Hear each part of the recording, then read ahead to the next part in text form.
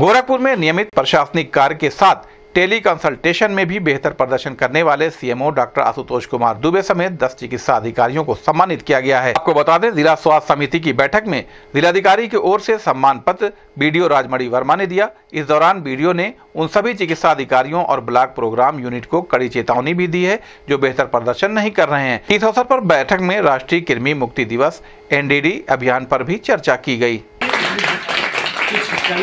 कुछ उदाहरण बनना पड़ता है। सामने सामने। उदाहरण बनता हूँ कि आप लोग करो।